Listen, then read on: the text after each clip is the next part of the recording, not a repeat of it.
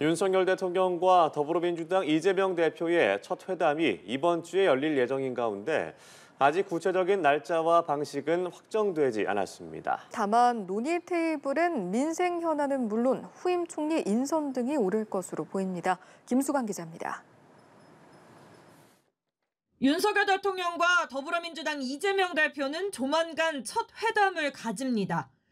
양측은 아직 회담 날짜와 형식 등은 정해지지 않았다고 밝혔는데 실무진 간 조율 중에 있는 것으로 보입니다.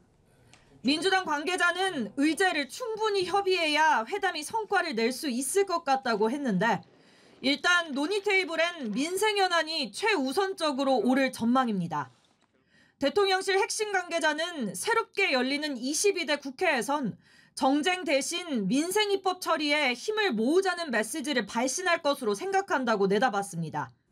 민주당도 비슷한 입장을 밝혔습니다.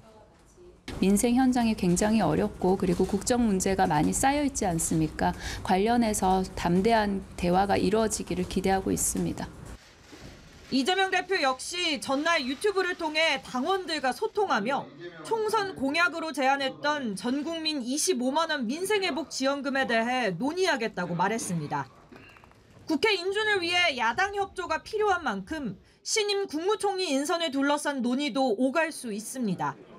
다만 야당이 줄기차게 요구하는 해병대원 최상병의 순직 사건을 둘러싼 수사 외압 의혹과 김건희 여사를 겨냥한 각종 특검법이 테이블에 오를지는 미지수입니다.